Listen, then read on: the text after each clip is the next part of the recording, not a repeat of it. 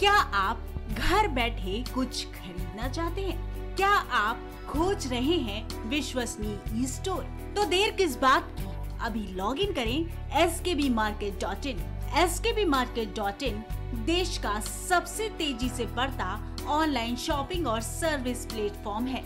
आपके S K B market dot इन ऐसी अब तक तीन लाख से ज़्यादा संतुष्ट ग्राहक जुड़ चुके हैं। हमारा उद्देश्य न केवल उत्पाद बेचना है, बल्कि आत्मनिर्भर भारत का निर्माण करना है। हम अपनी ई सेवा गतिविधियाँ, यानी ऑनलाइन व्यवसाय को अब अंतर्राष्ट्रीय स्तर पर पहुँचाने जा रहे हैं। S K B market dot in shopping सुकून के साथ।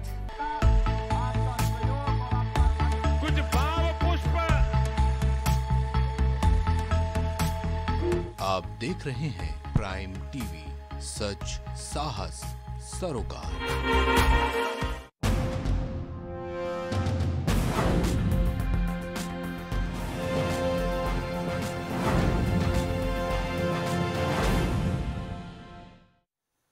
नमस्कार, आप देख रहे हैं प्राइम टीवी और मैं हूँ आपके साथ नंदिनी यादव। वक्त हो चुका है बिहार की खबरों का रुख करते हैं खबर की ओर।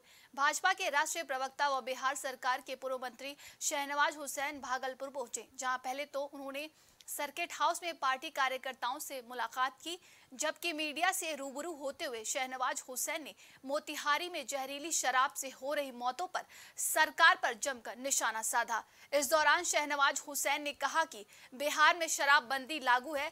भाजपा ने शराबबंदी का समर्थन किया था।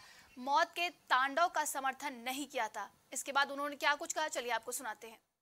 भारतीय जनता पार्टी ने भी शराबबंदी का समर्थन हमने किया था, लेकिन मौत के तांडव का समर्थन नहीं किया था। ये क्या हो रहा है? लोगों की ज़िंदगी जा रही है। आखिर नकली शराब बिहार में घुसती कैसे है? इसकी ज़िम्मेदारी कौन लेगा? इसका जवाब सरकार को देना चाहिए। और जो लोग इसमें जिनका देहांत हुआ है, उनका ज़बरदस्ती भागलपुर के पीर पैंती ईशीपुर थाना परिसर में थानाध्यक्ष सुधांशु शेखर की अध्यक्षता में ईद उल फितर त्योहार को लेकर शांति समिति की बैठक की गई, जिसमें ईशीपुर थाना क्षेत्र के शांति समिति के सदस्यों ने नए थाना अध्यक्ष को अंग वस्त्र से सम्मानित कर अपने क्षेत्र की समस्याओं से अवगत कराया। वहीं थाना अध्यक्ष के द्वारा क्षेत्र में शांति कायम बनाए रखने की बात कही और पूरे त्योहार को भाईचारे और सौहार्दपूर्ण से मनाने की अपील की गई है। बिहार के पूर्व मुख्यमंत्री जीतन राम मांझी ने बयान देते हुए नीतीश कुमार की सराहना की और कहा कि बिहार के मुख्यमंत्री नीतीश कुमार बिहार में ऐतिहासिक घोषणा किया है। बिहार में शराब मौत पर पीड़ित परिजनों को चार लाख मुआवजा देने की घोषणा की है। इस पर बिहार के पूर्व मुख्यमंत्री जीतन राम मांझी ने गया में प्रतिक्रिया देते हुए कहा कि नीतीश कुमार जी का बड़प्पन है। शराब मौत पर मुआवजा देने की बात कही गई। हालाँकि शराब कानून अच्छी से है, उसमें संशोधन करने की ज़रूरत है। समर्थन किया था लेकिन नीचे वाले जो इम्प्लीमेंटेशन है इम्प्लीमेंटेशन में गड़बड़ी करते हैं, उसको देखने की आवश्यकता है। आज जितने भी इसके चलते हॉस्पिटल या जेल में हैं तो उसमें गरीबों की संख्या ज़्यादा है और बड़े बड़े मस्केटी वो छूट जाते हैं। तो इसलिए हम अब इस पर बोलना भी बंद कर दिया, क्योंकि बार बार हमारा स्टैंड तो है ही है सबको ही जानते हैं।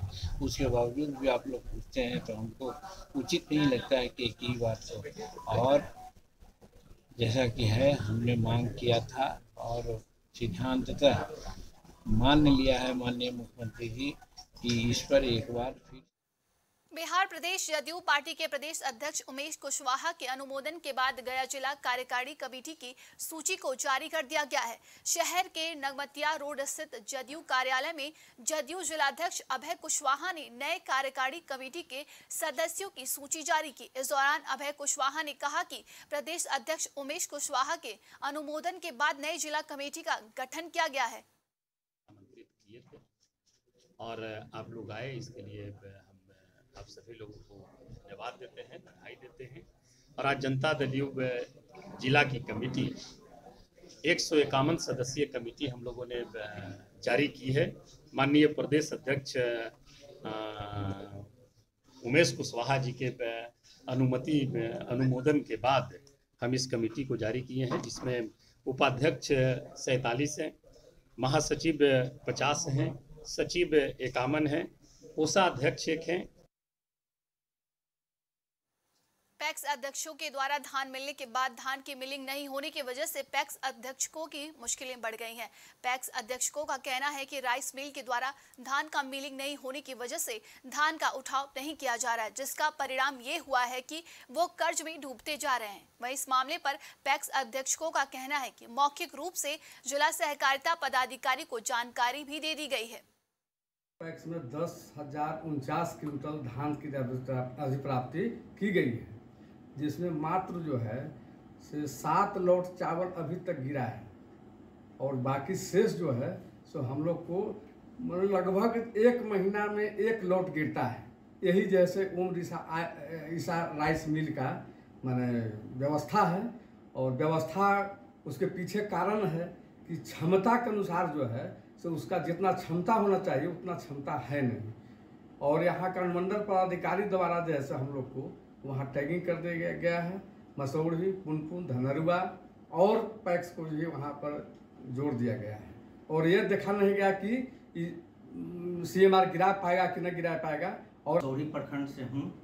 मेरा मिल का टैगिंग ओम ईसा राइस मिल बीर में किया गया है। उस मिल की क्षमता इतनी कम है और पूरा अनुमंडल का उस मिल में टैगिंग एसडीओ साहब के द्वारा कर दिया गया है। जिससे चावल गिराने में इतनी देर उसे हो रहा है कि 45 दिन आज हो गया। छः लॉट पहले चावल गिरा है और 45 दिन में एक लॉट भी हमारी चावल नहीं गिरी है। जिसका शिकायत हम अपना जिला सहकारिता पदाधिकारी को फ़ोन के द्वारा कई एक बार कर चुके हैं। निबंधक के रूप में काम कर रहे हैं। जिनका काम रूटीन वर्क देखना है चिट्ठी आई है। आदेश आया तो बी तक पहुँचा देना बी द्वारा किए गए काम को विभाग तक पहुँचाना नहीं मेरा काम रहा है। लेकिन तो स्वाभाविक बात है कि अगर अधिप्राप्ति का, का व्यवसाय तो कर्ज लेकर होता है। अगर समय से चावल न गिरेगा तो कर्ज का ब्याज का तो बिहार के राज्यपाल राजेंद्र विश्वनाथ आलेकर ने मुजफ्फरपुर के भगवानपुर स्थित प्राइवेट कॉलेज में पहुंचकर यूथ 20 के मंच पर छात्रों को संबोधित किया। और इस दौरान भाजपा के पूर्व प्रदेश अध्यक्ष सह सांसद डॉक्टर संजय जायसवाल मुजफ्फरपुर सांसद अजय निषाद पूर्व मंत्री भी मौजूद रहे। बता दें इस कार्यक्रम की शुरुआत महामहिम राज्यपाल ने दीप प्रज्वलित करके की है। कि आने वाला समय अपने युवाओं का है और इसके तहत उनको आज सक्षम बनना है। सब युवा है। आने वाले 25 वर्षों के लिए अमृत काल के लिए तैयार हो। और स्व को जागरण करके, स्व का जागरण करके इस देश को, इस अपने देश के भवितव्य को और आने वाले पीढ़ियों को एक अच्छा मार्गदर्शन करें, युवाओं ने करना चाहिए। बिहार के स्मार्ट सिटी में शामिल हुए मुजफ्फरपुर शहर में smart trafficking system and control के तहत शहर के पाँच जगहों पर रेड लाइट सिग्नल सिस्टम शुरू किया गया है। वहीं स्मार्ट सिटी के तहत अब तक आठ जगहों पर ट्रैफ़िक कंट्रोल शुरू किया गया है, जिसको लेकर बताया गया कि स्मार्ट कैमरे से निगरानी की जा रही है और नियमों का पालन नहीं करने पर मोबाइल पर सीधा चालान जाएगा। पूरा थाना चौक हो गया महिला थाना चौक हो गया बनारस बैंक चौक हो गया और पक्की सराय चौक। हो गया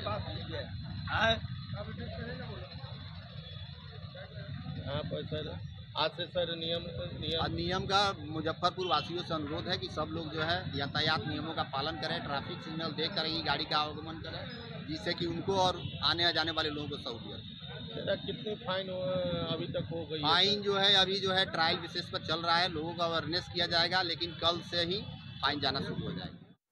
रुकते हैं, छोटे से ब्रेक के लिए बने रहिए हमारे साथ, देखते रहिए प्राइम टीवी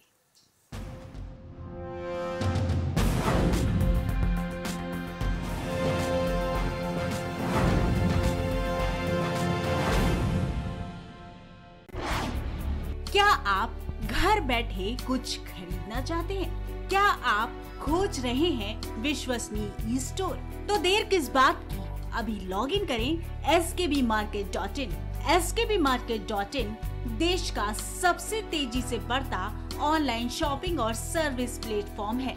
आपके S K B market dot इन ऐसी अब तक तीन लाख से ज़्यादा संतुष्ट ग्राहक जुड़ चुके हैं। हमारा उद्देश्य न केवल उत्पाद बेचना है, बल्कि आत्मनिर्भर भारत का निर्माण करना है। हम अपनी ई सेवा गतिविधियाँ, यानी ऑनलाइन व्यवसाय को अब अंतर्राष्ट्रीय स्तर पर पहुँचाने जा रहे हैं। S K B market dot in shopping सुकून के साथ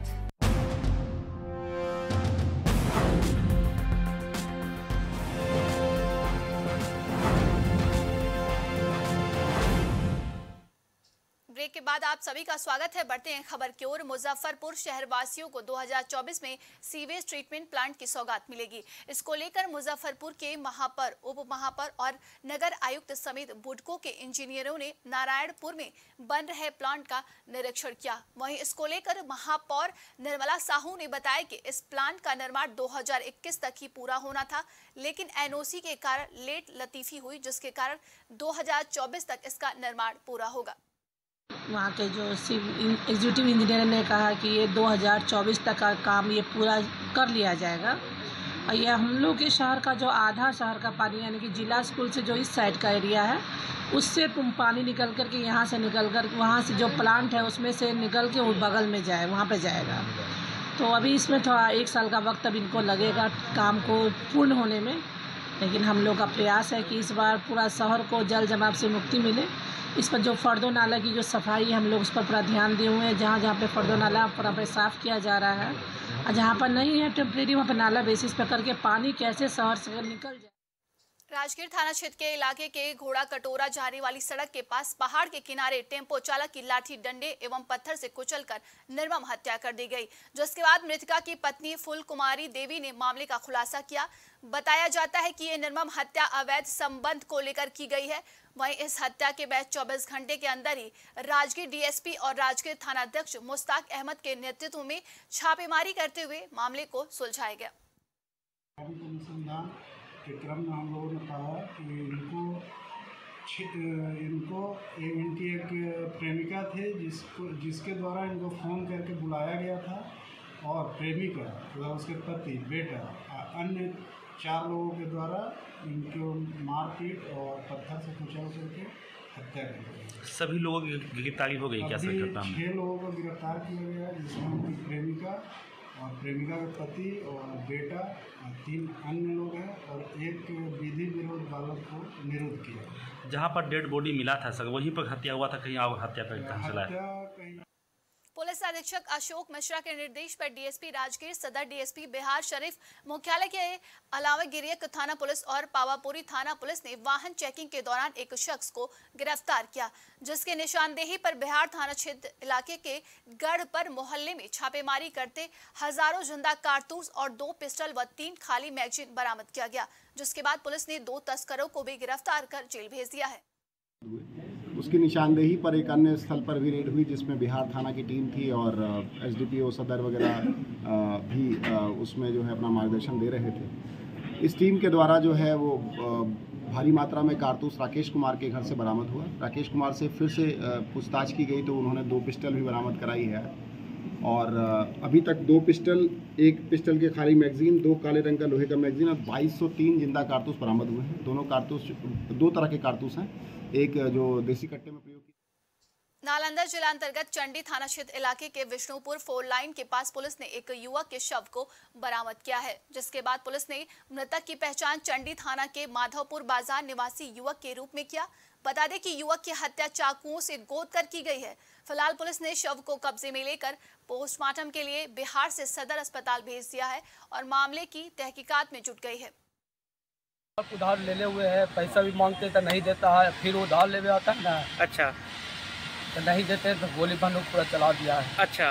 हम तो लोग पूरे भाग गए फिर एक बाद थाना उना में फ़ोन उन किए अच्छा।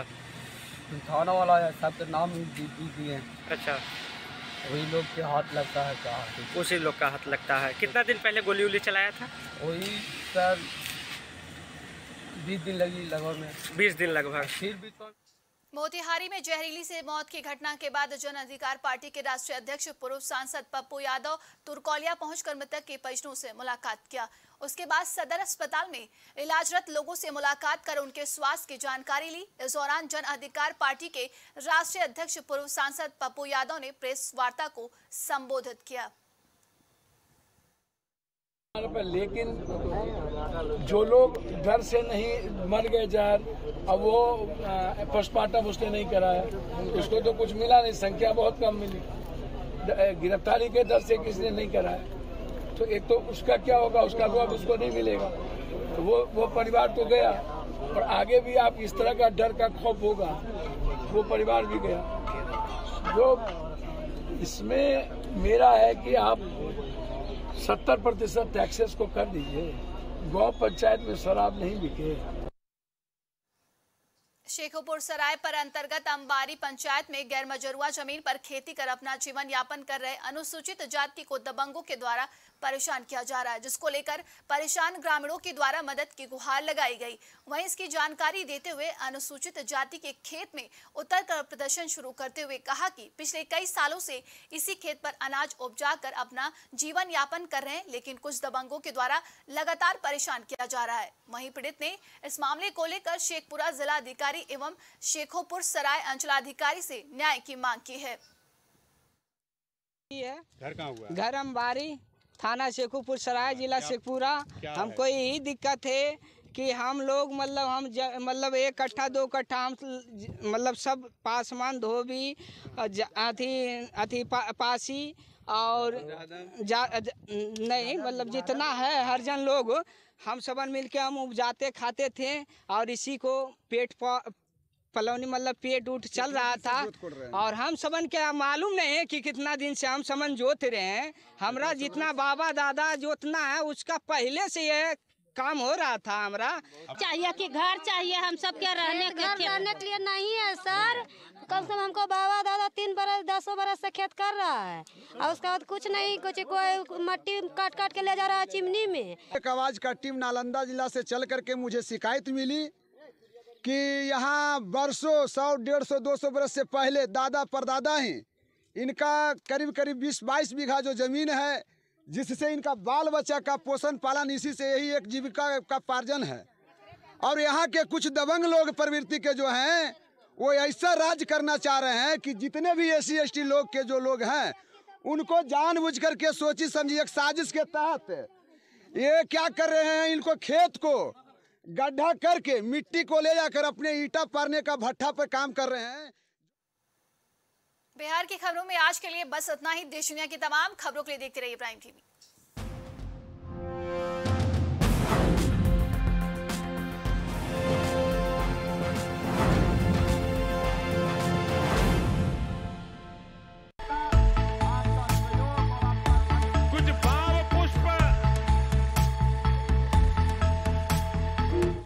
देख रहे हैं प्राइम टीवी सच, साहस, सरोकार।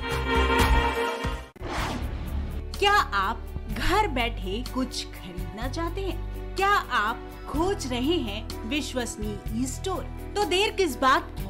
अभी लॉग इन करें S K B market dot in S K B market dot in देश का सबसे तेज़ी से बढ़ता ऑनलाइन शॉपिंग और सर्विस प्लेटफॉर्म है। आपके S K B market dot इन ऐसी अब तक तीन लाख से ज़्यादा संतुष्ट ग्राहक जुड़ चुके हैं। हमारा उद्देश्य न केवल उत्पाद बेचना है, बल्कि आत्मनिर्भर भारत का निर्माण करना है। हम अपनी ई सेवा गतिविधियाँ, यानी ऑनलाइन व्यवसाय को अब अंतर्राष्ट्रीय स्तर पर पहुँचाने जा रहे हैं। S K B market dot in shopping सुकून के साथ।